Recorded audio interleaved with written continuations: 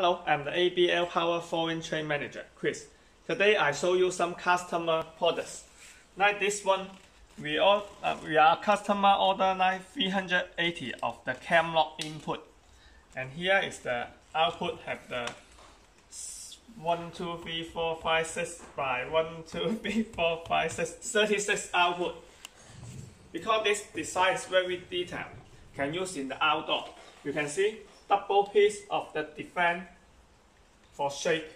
And here we use the framer ribbon of the Dallas of the switch area.